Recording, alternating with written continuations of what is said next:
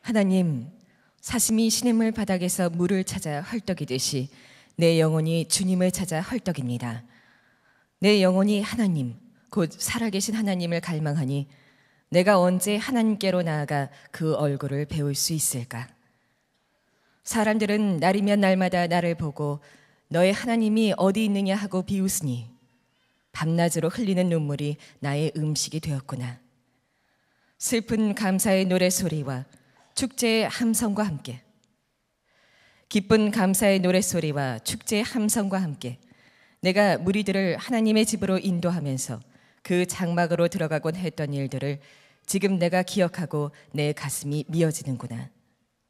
내 영혼아, 네가 어찌하여 그렇게 낙심하며 어찌하여 그렇게 괴로워하느냐?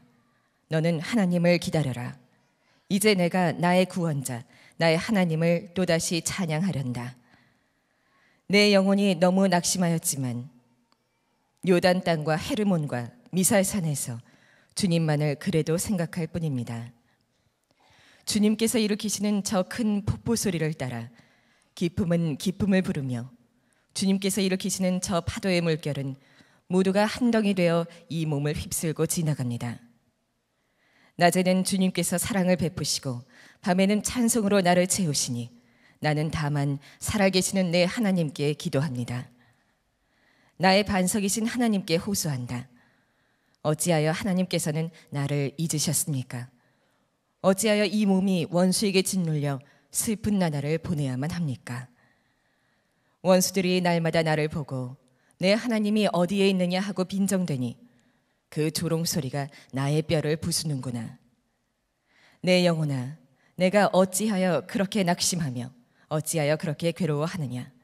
너는 하나님을 기다려라. 이제 내가 나의 구원자, 나의 하나님을 또다시 찬양하련다. 아, 지난번 유럽 성에 갔다가 그 밀라노, 이태리 밀라노를 다녀오기는 했지만 아, 저는 전혀 밀라노를 관광이나 명소를 둘러보지를 못했습니다. 아, 그 밀라노에 있는 어느 한인 교회에 목사님이 저에게 간곡한 메일을 보내셨어요. 아, 밀라노에 와서 아, 꼭 자기 교회에 와서 저녁 집회를 인도해 달라. 네, 밀라노에 여행이 딱 하루였는데 에, 그러면 저는 밀라노에 거기 뭐 도우모 성당이든지 아주 유명한 명소를 전혀 볼 수가 없습니다. 또 제가 저 혼자 가는 여행도 아니고 일행도 있는 형편에 과연 제가 그렇게 할 수 있을까 하는 아, 마음의 갈등이 있었습니다. 그 목사님께서 아, 이런 메일을 보내셨어요. 목사님 밀라노 오시면 아, 저희 교회 꼭 오셔서 수요 저녁 집회에 짧게라도 말씀 전해 주시면 너무 좋겠습니다. 목사님은 웃으시겠지만 저의 지금 마음은 사교와 같습니다. 예수님 지나가시는 자리로 얼른 가서 뽕나무에 기어 오르고 싶은 마음, 바로 그 마음입니다. 교우들도 다 그렇습니다. 예수님의 사람 제자 훈련하는 교회를 그냥 지나치시면 안 되는 것 아닌가요? 아, 근데 제가 아, 이 목사님 요청에 응해야 하겠구나 하는 아, 생각을 하게 된 것은 그 성의 마지막 집회를 앞두고 제가 몹시 아팠습니다.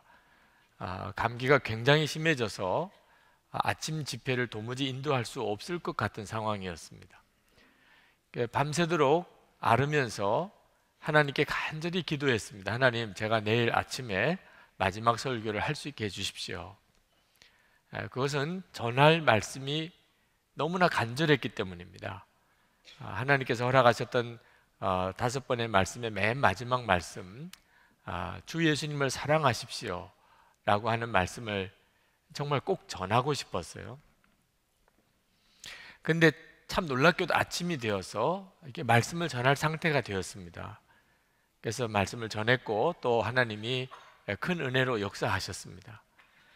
그 뒤에 제 마음에 아, 제 갈급한 기도에 응답하셨던 하나님, 아, 저도 그 목사님의 마음의 간절함에 응답해야 마땅하다는 생각이 들었습니다. 그래서 제가 목사님께 제가 저녁 집회를 섬기겠습니다. 그리고 아, 밀라노 관광을 포기했죠. 네. 자, 여러분 우리가 마음이 갈급해질 때는 어려운 일이 생기기 때문입니다. 그런데 그 어려운 일에도 불구하고 내가 마음이 갈급해진다는 것은 하나님의 엄청난 축복이 내게 임했다고 하는 사실을 여러분이 꼭 믿으시기 바랍니다. 하나님은 우리의 마음에 갈급함을 일으키시면서 하나님의 역사를 이루시기 때문입니다. 그러므로 어려운 일이 생겼다 하더라도 마음에 갈급함이 일어났다면 그건 하나님의 계획이 내 삶 속에 이루어지고 있는 순간이라고 믿으시고 오히려 그 가운데서 감사하고 찬양하실 수 있게 되기를 바랍니다. 오늘 이 시편 42편 시편이 그렇습니다. 이 시편은 대단히 어려운 처지에 빠져 있는 이 시편 기자가 하나님께 기도하는 내용입니다. 정확하게 이 사람이 누군지 성경적으로 분명하게 밝힐 수가 없고 또 이 사람이 겪고 있는 어려움이 무엇인지를 정확히 알기가 어렵습니다. 그러나 한 가지 분명한 것은 대단히 어려운 일에 빠졌다는 것입니다. 예루살렘에서 쫓겨났는데 여기서 이스라엘 민족이 전체적으로 민족적으로 전쟁에서 져서 포로로 잡혀갔던 이야기를 말하는 건지 또는 다윗처럼 어, 한때 예루살렘에서 이렇게 쫓겨나서 어려움을 겪었던 일을 말하는 건지를 정확히 알 수가 없습니다. 그러나 아, 예루살렘에서 쫓겨나서 예루살렘을 사모하며 어, 그렇게 하나님 앞에 간절히 기도하고 그리고 원수들이 자기를 조롱하는 것에 대해서 너 하나님이 어디 있느냐라고 하는 조롱에 대해서 괴로워하면서 아, 이 시편을 쓰고 있습니다. 그런데 이 시편에서 우리가 주목할 것은 그 갈급함입니다. 네. 1절, 2절 말씀을 보면 아, 이렇게 말합니다. 하나님, 사슴이 시냇물 바닥에서 물을 찾아 헐떡이듯 내 영혼이 주님을 찾아 헐떡입니다.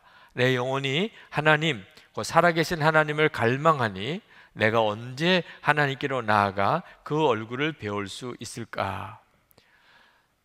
어, 지금 이 시편을 읽어보면 이 시편 기자가 얼마나 어려운 일을 겪고 있는가 하는 것도 나타나지만 얼마나 하나님을 갈급해 하는가 하는 것도 아주 구구절절 드러나 있습니다. 그렇다면 이 시편 기자는 하나님의 은혜 아래 있는 거예요. 여러분 어려운 일을 겪는다고 다 이 시편 기자처럼 갈급해 하는 게 아니라는 사실을 여러분이 아셔야 합니다. 실제로 어려운 일이 생기고 시험거리가 생기면 믿음 버리는 사람도 있습니다. 어려운 일이 생겼다고 교회를 떠나는 사람도 있습니다. 어려운 일이 생겼기 때문에 오히려 마음이 강팍해지는 사람도 있습니다. 어려운 일이 생겨서 오히려 사람 찾아 도움이 되지 않는 사람 의지하고 방황하는 사람도 많습니다. 어려운 일이 생겼다고 다 갈급해지는 거 아닙니다. 그런데 이 시편 기자는 갈급하게 하나님을 찾습니다. 하나님께서 어, 그의 심령 가운데 은혜로 역사하고 계시다는 뜻이기 때문에 그렇습니다. 여러분, 우리가 하나님의 살아계신과 예수 그리스도의 우리와 함께 하시는 역사를 우리가 경험하지 못하는 중요한 이유는 우리가 갈급함으로 준비되어져 있지 않기 때문입니다. 우리의 마음이 하나님의 역사에 대해서 갈급하지 않으니까 하나님이 역사하실 수 없는 겁니다. 오늘 이 설교를 준비하면서 좀 걱정스러운 아, 사람들이 생각이 나더라고요. 요즘에 형편이 좀 괜찮은 사람, 지금 이 시편 기자처럼 마음이 정말 안타깝고 간절할 만큼 어려움이 온 사람은 아마 이 시편을 읽으면서 어, 구구절절히 공감이 되겠지요. 그러나 요즘에 좀 형편이 괜찮아요.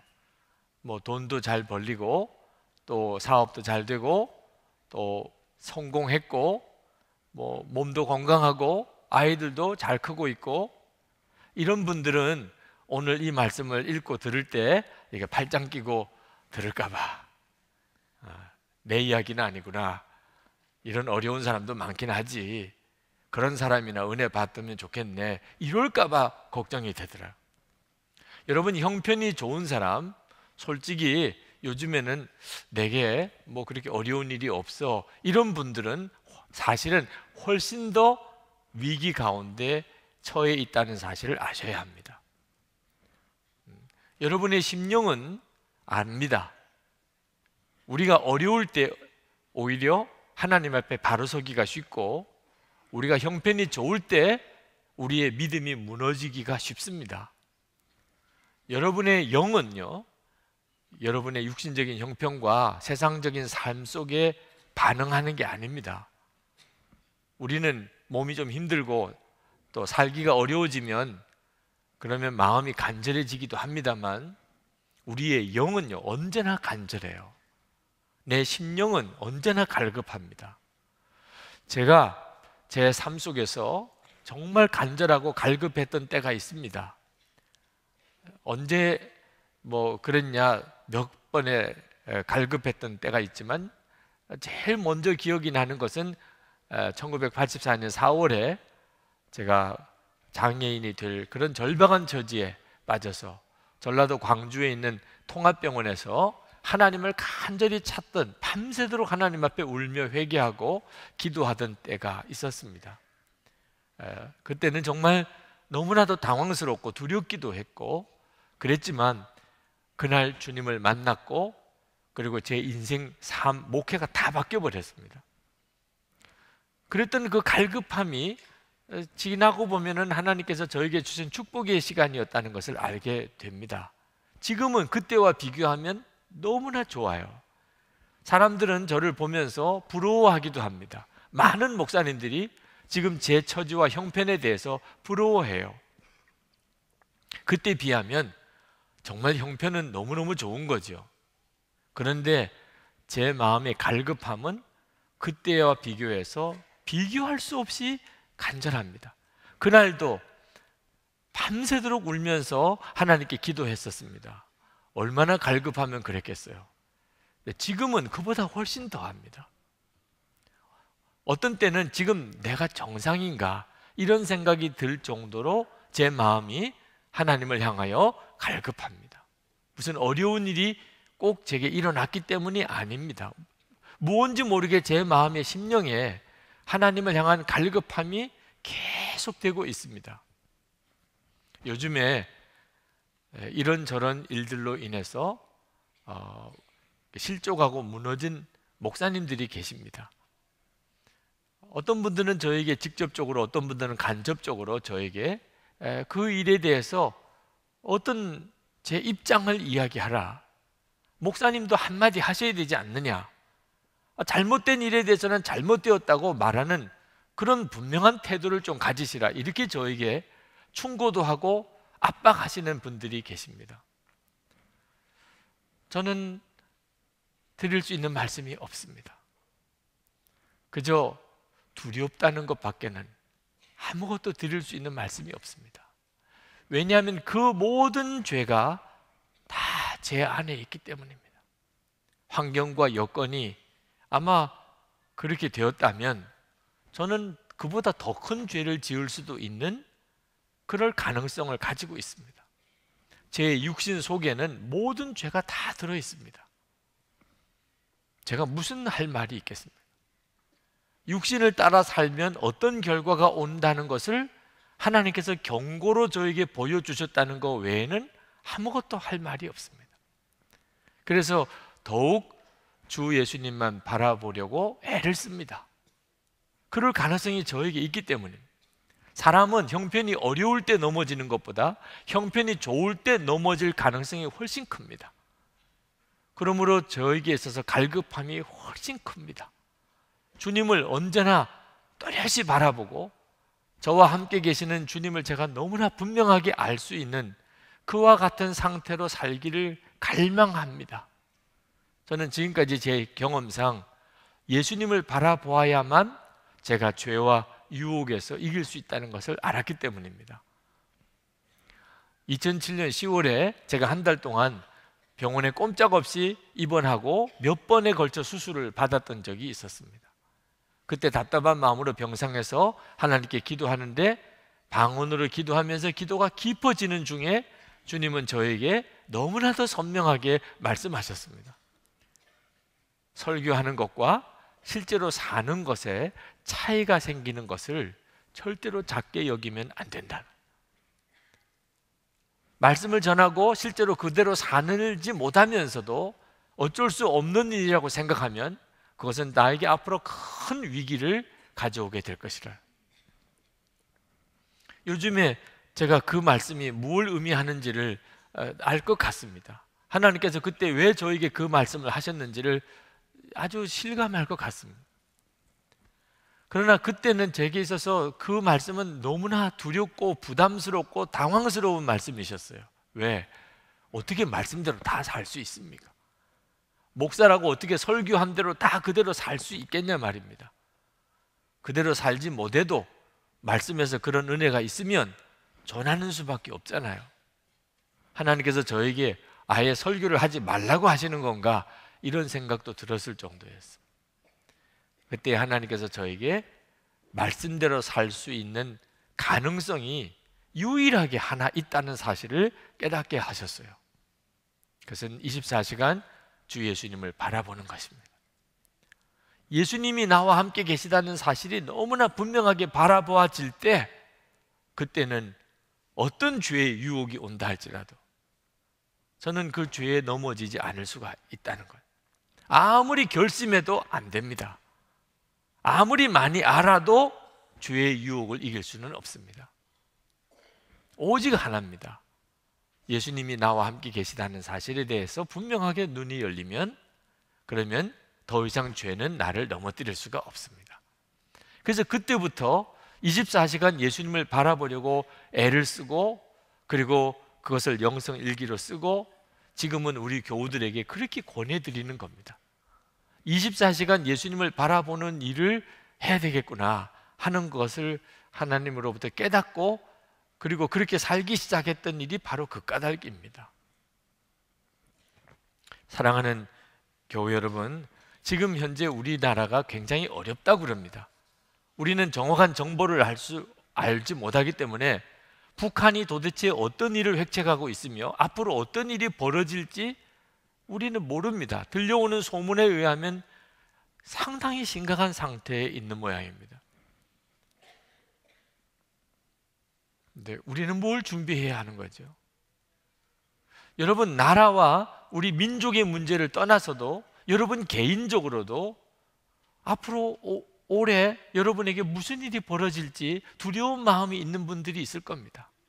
건강의 문제도 또 경제적인 문제도 또는 뭐 가정적 가족의 문제도 여러분을 두렵게 하고 있는 문제들이 아마 있으실 거예요. 뭘 준비해야 되는 거죠?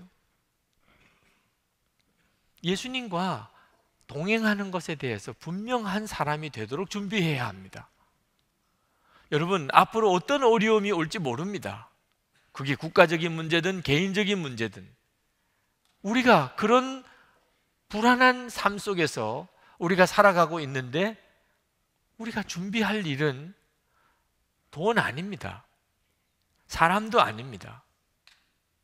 예수님, 내가 믿는 예수님이 그냥 지식으로 믿는 대상이 아니고 내가 예수님에 대해서 많이 아는 정도도 아니고 내게 있어서 예수님은 지금도 살아계신 주님이시고 나와 만나 주시는 주님이시고 내게 말씀하시는 주님이시고 내가 그 예수님을 분명하게 알고 예수님과 동행하는 사람이 되는 것입니다. 만약에 예수님이 나와 함께 계심을 내가 바라보고 주님의 음성을 듣는 귀가 열리고 주님과 동행하는 사람이 되었다면 두려워할 일이 없습니다.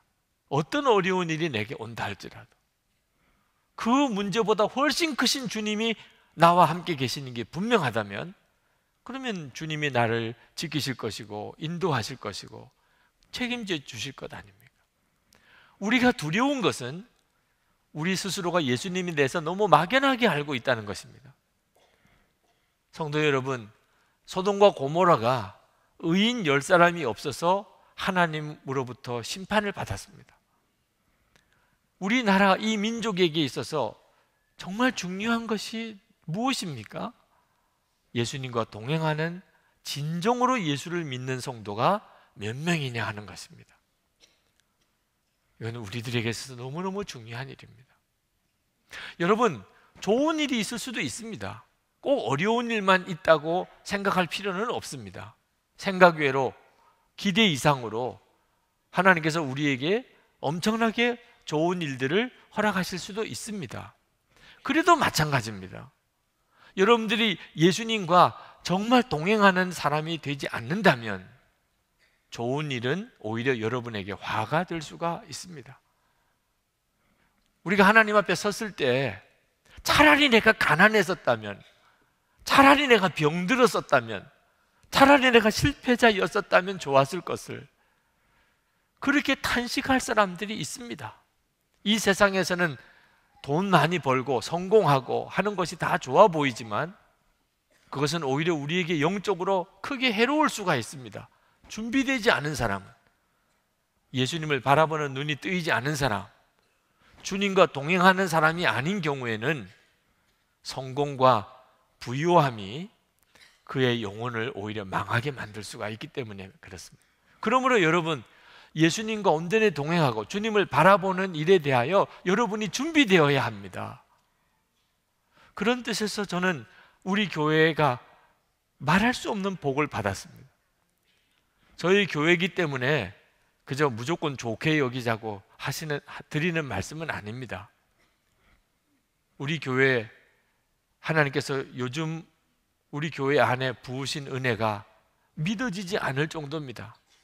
담임 목사나 우리 부교육자나 우리 장로님들이나 온 교우들이 우리 주님은 살아계신 주님이시고 그리고 그 주님을 24시간 바라보기 위하여 우리가 영성일기를 같이 쓰면서 서로 점검해 드리고 서로 세워 드리고 목표는 오직 하나 예수님과 온전히 행복하게 동행하는 삶을 훈련하는 일을 위하여 온 교회가 준비되어져 있는 이런 경우가 쉽지 않습니다.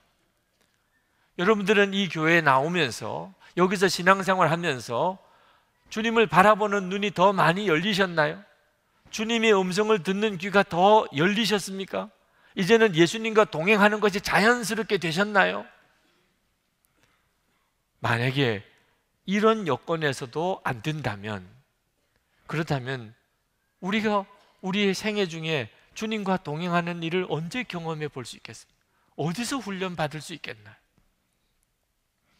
영성일기 쓰고 속회에서 소그룹으로 그 일을 서로 격려하고 그리고 점점 점점 주님과 더 가까워지고 주님을 아는 눈이 더욱 열려지고 이건 시간이 걸리는 일입니다.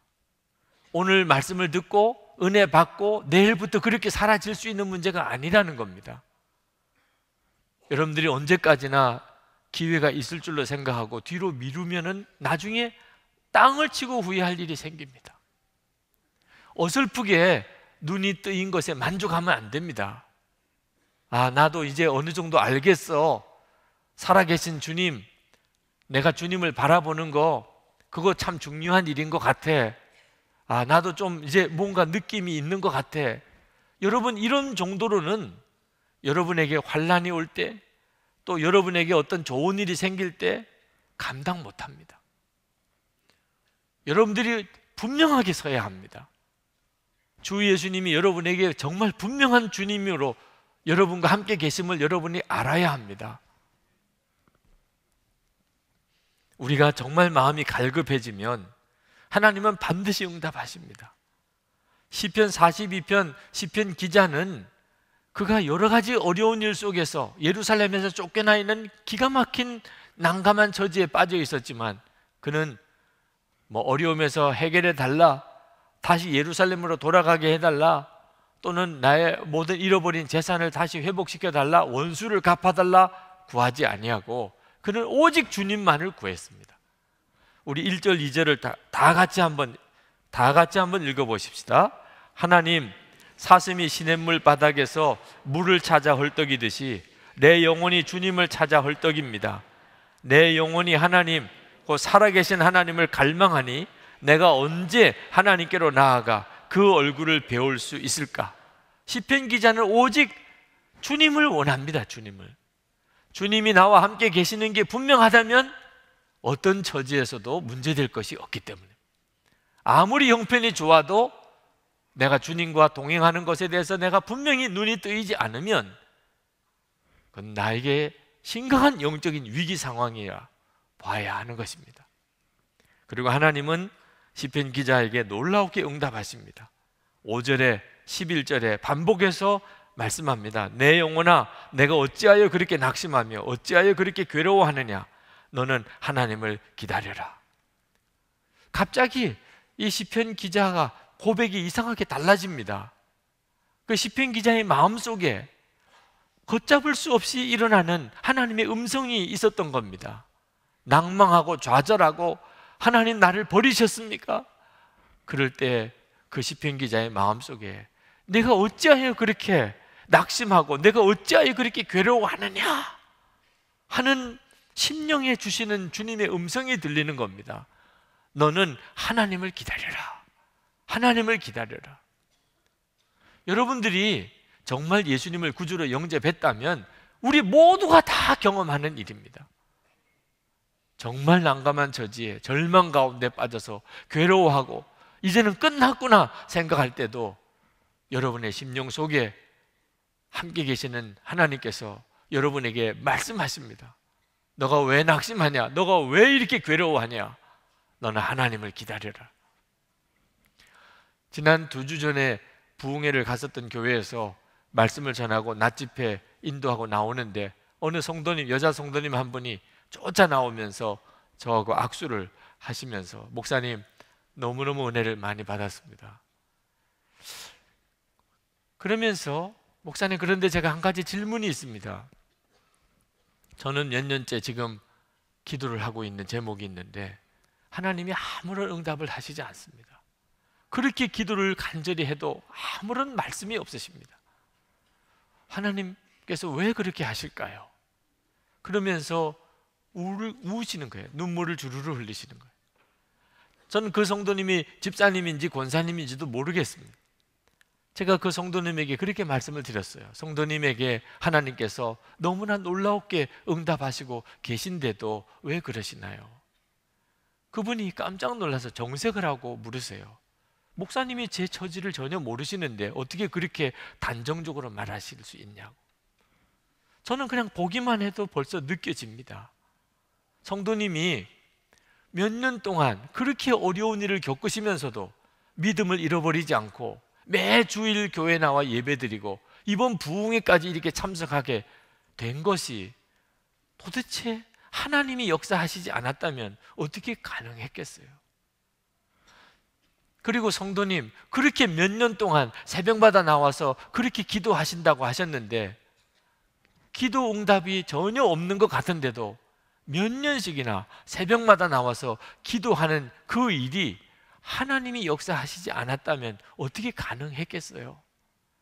그리고 성도님이 이번 부흥회 때 그렇게 은혜를 많이 받으셨다고 하시는데 고린도전서 2장 12절에 우리가 세상의 영을 받지 않고 하나님께로 온 영을 받았으니 하나님께서 은혜로 주신 것들을 알게 하려 하십니다.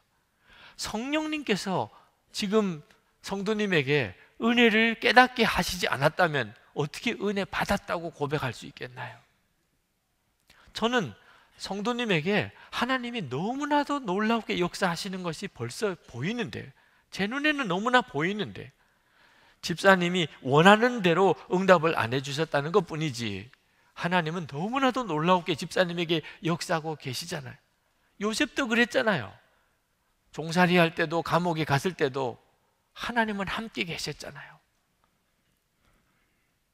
여러분, 여러분이 보셔야 됩니다. 하나님께서는 여러분들 가운데 너무나도 놀라우게 함께 계시고 여기까지 이끌어주고 계세요. 갈급한 사람에게 어찌 하나님이 아무런 역사를 안 하실 수가 있겠어요? 그러므로 성도들은 환란을 당해도 기가 막히게 어려운 처지에 빠져도 주님을 사모하면 반드시 찬송하게 되어 있습니다. 5절 하반절에 이제 내가 나의 구원자, 나의 하나님을 또다시 찬양하련다. 문제는 하나도 해결된 게 없습니다. 그런데 성도의 마음에 찬양이 터져 나오는 겁니다. 그러므로 여러분 24시간 예수님을 바라보는 눈을 분명히 뜨셔야 됩니다. 주님 바라보고 주님과 동행하는 신앙의 훈련을 소홀히 하시면 안 됩니다. 6절 말씀에 내 영혼이 너무 낙심하였지만 요단 땅과 헤르몬과 미살산에서 주님만을 그래도 생각할 뿐입니다. 지금 이 시편 기자는 대단히 낙심스러운 상황에 있지만 그래서 그가 할 수 있는 것은 아무것도 없어요.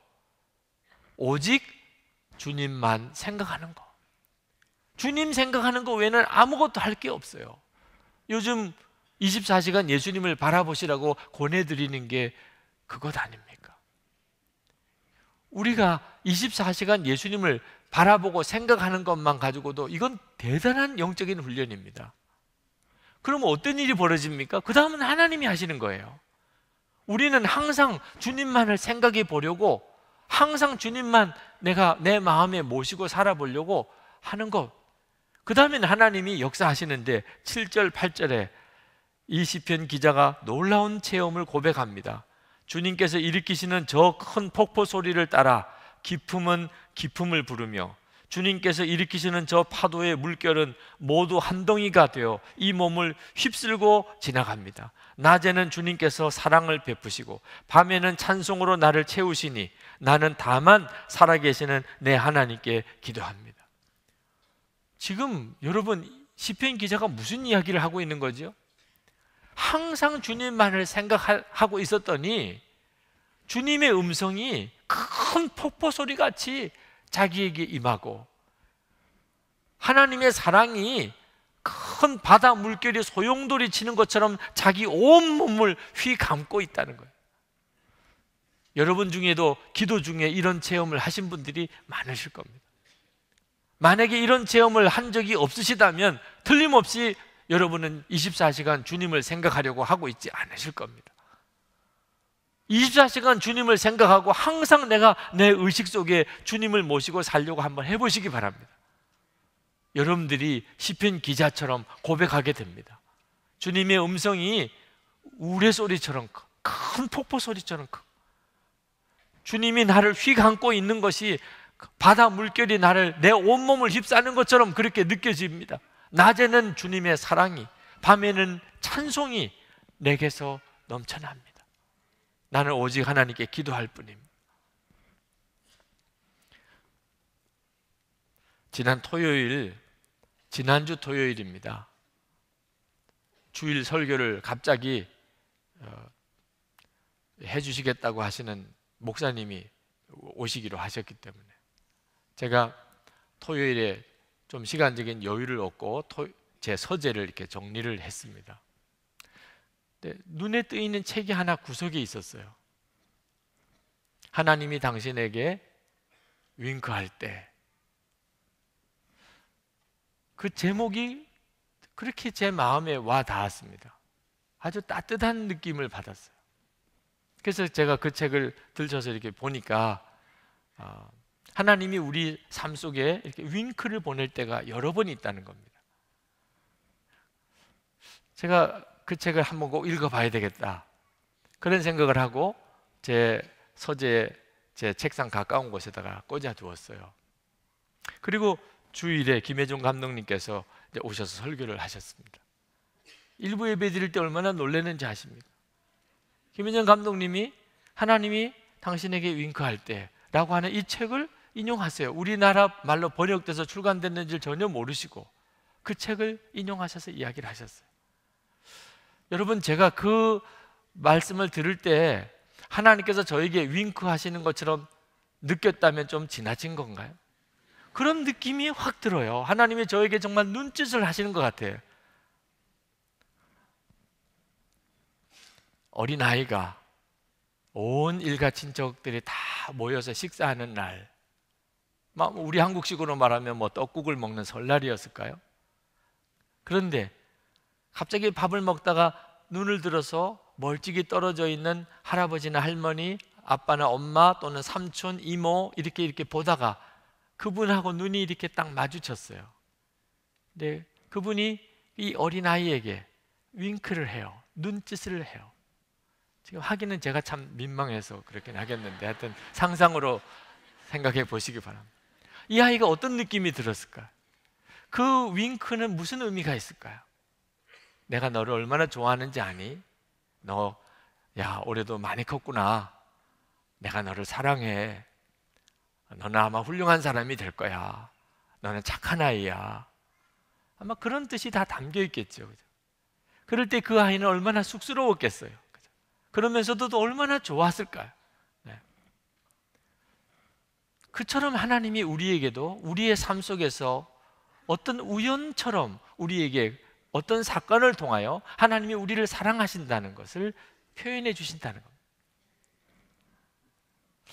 저는 굉장히 마음이 갈급한 상태에 있었어요. 아까도 말씀드렸지만 이건 좀 지나친 게 아닌가. 그런 생각이 들 정도로 마음이 간절해요. 주님, 저는 절대로 더 이 상태로 만족할 수가 없습니다. 제가 주님과 정말 온전히 동행하고 주님을 온전히 바라보기를 원합니다. 그런 마음의 간절함이 너무너무 커요. 하나님 왜 그렇게 훌륭한 목사님들도 무너지는 겁니까? 근데 하나님께서 저에게 바로 그 예배 때 저에게 말씀하시는 것 같았어요. 내가 너를 알고 있어. 너가 기도하는 것을 내가 알고 있고, 너가 지금 아주 잘 가고 있어. 너가 원하는 대로 내가 해줄 거야. 너 절대로 여기서 그냥 머뭇거리지 말고 계속 가. 응? 계속 그렇게 가는 거야. 이렇게 말씀하시는 것 같았어요. 그래서 제게 말할 수 없는 위로가 되었습니다. 지난 주일 김혜종 감독님이 오셔서 설교를 하고 가신 것은 정말 저에게 있어서는 전혀 예상치도 않았던 갑작스러운 사건이었는데 저 개인적으로는 하나님이 저에게 주시는 뜻이 있으셨다고 생각이 들었습니다. 그래서 제가 페이스북에다가 그 글을 올렸어요. 그랬더니 아, 또 이상하게 댓글을 다시는 분이 한 분이 계셨어요. 아니 그게 하나님의 윙크인지 어떻게 아느냐. 네. 모든 걸 다 그런 식으로 다 갖다가 해석해 버리면 오히려 많은 사람들을 미혹하는 거 아니겠냐는 거예요. 어, 그렇게 댓글을 기분 나쁘게 다시는 분들이 계셨습니다. 생각해 봤습니다. 그럴 수도 있겠다. 어, 모든 걸 다 그런 식으로 다 덧붙여 버리는 것은 문제가 있을 수도 있겠다. 그런 생각도 들기도 했어요. 근데 한번 여러분들에게도 한번 물어보고 싶습니다. 하나님께서 그때 뭐라고 하셨을까? 너는 어떻게 그렇게 모든 걸 다 그런 식으로 해석하니? 내가 언제 윙크했니? 이렇게 하셨을 가능성도 있고 또 하나는 내가 너에게 그동안에 윙크를 얼마나 많이 했는 줄 알아? 그런데 너는 이제서야 깨닫니? 나는 그동안 너에게 얼마나 눈짓을 하고 내가 얼마나 너를 격려하고 그랬는데 말이야. 너 어째 이제야 그걸 깨닫니? 넌 요렇게까지 가야만 아니? 어떤 게 맞을 것 같아요? 저는 후자일 거라고 생각합니다. 네. 왜냐하면 저는 분명히 믿으니까요. 하나님은 저를 사랑하시고 여러분 모두도 그렇죠. 부모님이 아이를 향하여 오늘 우리 임민택 집사님 좀 닭살 돋는 간증을 하기는 하셨습니다만 정말 아버지가 딸을 향하여 가지고 있는 그 마음 그보다 훨씬 더 아시죠 하나님께서 하나님은 항상 우리에게 사랑을 말씀하시고 우리를 사랑한다고 말씀하시고 우리를 격려하고 싶으실 텐데 우리가 늘 그걸 깨닫나요? 거의 대부분은 하나님은 왜 내 기도는 안 들어주시지? 하나님은 나는 특별히 사랑 안 하시나 봐. 그렇게 지내지 않나요? 보지도 듣지도 말하지도 못하는 삼중고의 여인 헬렌 켈러 여사가 어느 날 숲속을 이렇게 산책을 하면서 말할 수 없는 하나님의 은혜를 받았습니다. 아무것도 볼 수도 그렇게 들을 수도 없지만 바람을 느낄 수는 있잖아요. 그 숲속에서 부는 바람을 자기 피부를 얼굴을 스치고 지나가는 바람을 느끼고 그리고 그 신선한 공기를 마시면서 너무 좋다. 야, 너무 좋다. 그리고는 옆에 가는 친구에게 물어봤어요. 얘는 볼 수도 있고 들을 수도 있으니 얼마나 더 좋을까? 넌 어떠니? 그랬더니 그 친구가 하는 이야기가 음, 뭐 별거 없어 이렇게 이야기를 하는 아니 세상에 어떻게 별거 없을 수가 있어 나는 보지도 듣지도 못하는데도 이렇게 좋은데 너는 다 보고 들으면서도 어떻게 별거 없을 수 있지? 그리고 이 헬렌 켈러 여사가 사흘만 볼 수 있다면이라는 글을 썼잖아요. 만약 내가 눈을 뜨고 볼 수 있다면 나는 나의 눈을 뜨는 처음 순간에 나를 이만큼 가르쳐 주고 교육시켜 준 나의 선생님 에미 설리반을 찾아가겠다. 내 손끝으로 만져 알던 그의 인자한 얼굴 그리고 그의 아리따운 몸매를 몇 시간이고 물끄러미 보면서 그의 모습을 내 마음 깊숙이 간직해 두겠다. 다음엔 내 친구들을 찾아가고 다음엔 들로 산으로 산보를 나가겠다. 바람에 나풀거리는 아름다운 나무 잎사귀들을 들에 피어 있는 예쁜 꽃들과 그리고 저녁이 되면 석양이 빛나는 아름다운 노을을 보고 싶다. 다음 날 일어나 새벽에는 먼 동이 트는 웅장한 장면, 아침에는 메트로폴리탄에 있는 박물관, 그리고 저녁에는 보석 같은 밤하늘의 별들을 보면서 또 하루를 보내고 마지막 날에는 일찍 큰 길에 나가 출근하는 사람들의 얼굴 표정들, 아침에는 오페라 하우스, 오후에는 영화관에 가서 영화를 감상하고 싶다.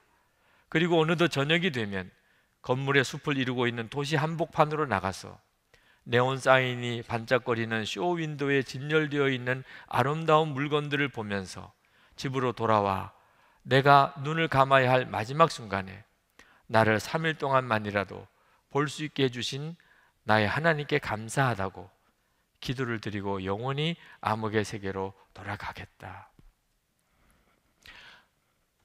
여러분, 우리가 겪는 모든 일들, 우리가 보는 모든 만물들이 우리를 향한 하나님의 사랑을 우리에게 전해주고 있어요.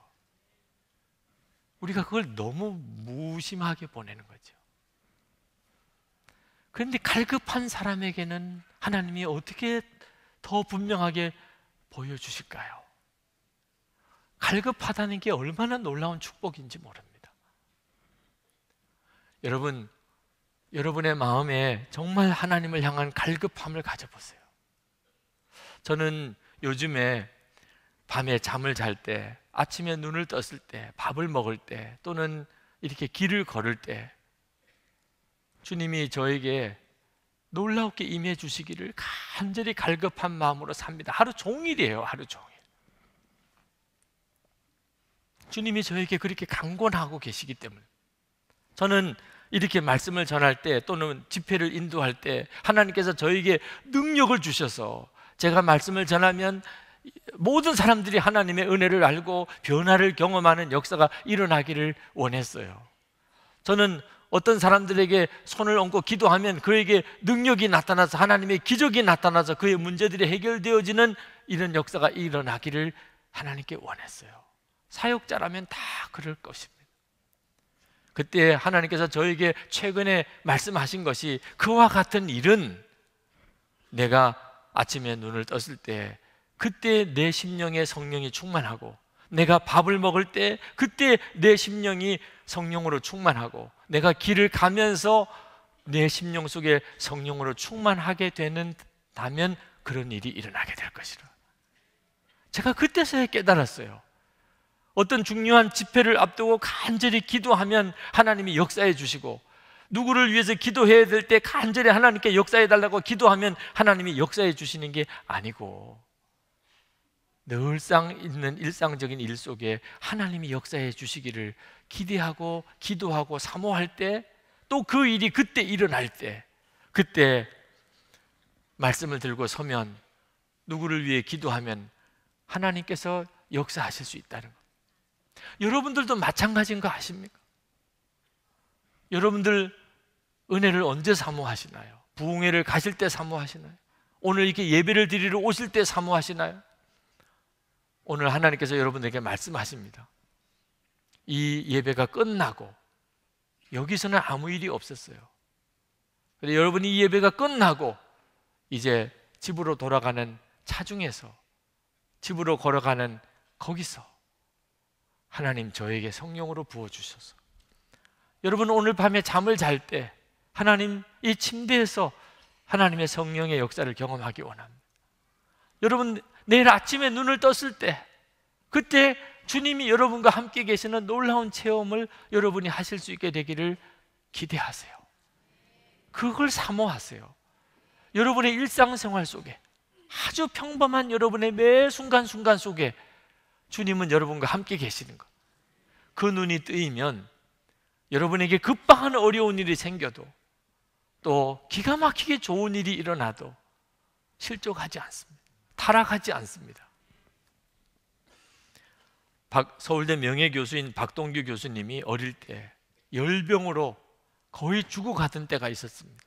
40도가 넘는 고열로 열흘 동안이나 그가 앓는 바람에 나중에는 의식이 다 없어지고 그리고 혼미한 상태로 빠져 들어가는데 어머니가 옆에서 귀에다 대고 아주 자그마한 목소리로 말씀을 하시더래. 하나님께서 너를 건져 주실 거야. 하나님께서 너를 고쳐 주실 거야.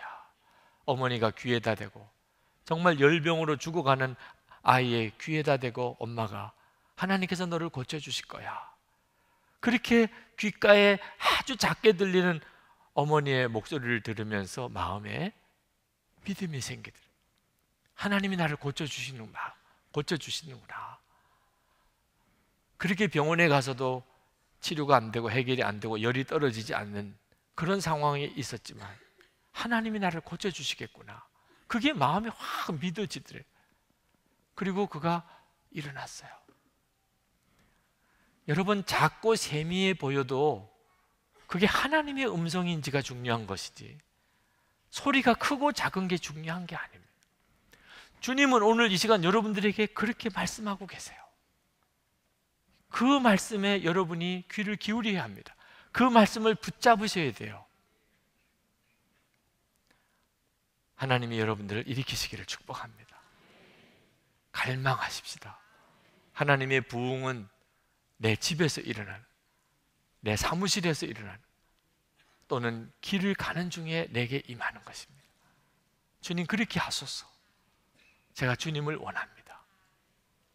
우리 이 시간 다 같이 우리 기도하십시다. 여러분, 주님을 향한 갈망, 하나님께서 오늘 이 시간 여러분의 마음에 부어 주셨습니다. 그 갈망으로 이 시간 주님께 기도하십시다. 통성으로 기도하십시다. 은혜와 사랑이 충만하신 하나님, 놀라우신 하나님의 은혜를 우리 가운데 부으시고 하나님의 역사를 우리 가운데 허락해 주소서. 우리의 마음이 간절하며 사모하며 하나님을 갈망합니다. 주여 역사해 주소서. 주 예수님 이 시간에 저희와 함께 계시니 주님을 찬양합니다. 하나님 사모하며 간절한 마음으로 기도하는 사랑하는 성도들에게 이 시간에 친히 역사해 주소서. 마음의 심령에 간절한 마음을 부어 주소서. 하나님을 향한 간절한 소원을 부어 주소서. 주님을 기다리고 갈망하는 마음을 부어 주소서. 하나님 주님께로 더 가까이 가는 결단이 있게 해 주소서. 아버지 하나님 우리가 우리의 일상적인 삶 속에서 하나님의 강력한 역사를 경험하게 되기를 원합니다. 주님의 인재를 경험하게 되기 원합니다. 주님을 바라보는 눈이 분명히 열려지게 되기 원합니다. 주님의 음성을 듣는 귀가 뜨여지게 되기를 원합니다. 주 예수님 역사해 주소서. 거룩한 성도들과 교회가 일어나 이 땅, 이 나라를 새롭게 하고 이 민족을 새롭게 하고 세계 열방의 주의 복음을 증거하게 하여 주시기를 원합니다. 오늘도 하나님 말할 수 없이 갈망하고 사모하는 심령으로 주님께 나온 성도들 주님이 붙잡아 주셔서 주여 말씀으로 함께 하시고 역사하시고 위로해 주시고 사로잡아 주셔서 주님 감사합니다. 놀라우신 하나님 감사합니다. 찬양합니다. 아버지 하나님 이 시간에 주의 성령으로 역사해 주셔서 주님 앞에 나온 모든 성도들 눈을 떠 주 예수님을 온전히 바라보게 해 주소서. 저희들이 정말 갈망합니다. 예수님과 온전히 하나 되고 주님을 온전한 믿음의 눈으로 바라볼 수 있게 되기를 원합니다. 주님과 동행하는 바로 그 사람이 되기를 원합니다. 우리가 예수님을 어설프게 믿고 넘, 넘어가지 않기를 원합니다. 오늘 말씀으로 주셨으니 저희들도 하나님의 얼굴 뵙기를 원합니다. 역사해 주소서. 주 예수님, 이 예배에 참여한 모든 성도들의 심령에 주 예수님을 향한 뜨거운 갈망을 주소서. 우리의 눈앞에 어떤 일이 다가올지 저희들은 모릅니다.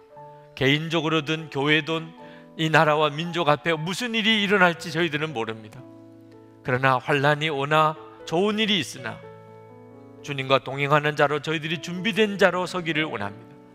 어떤 일을 주님이 우리에게 주시든 상관이 없습니다.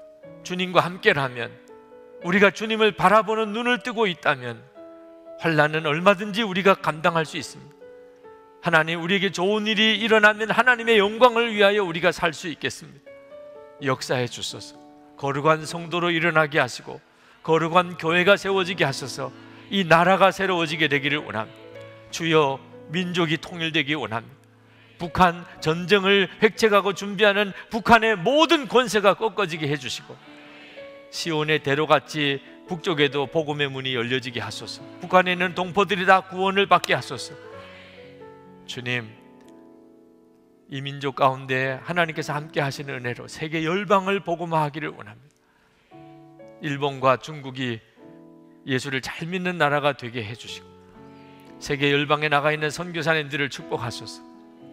오늘도 주님 앞에 나와 예배하고 전심으로 감사와 예물을 드린 성도들 또한 하나님의 손에 올려드립니다.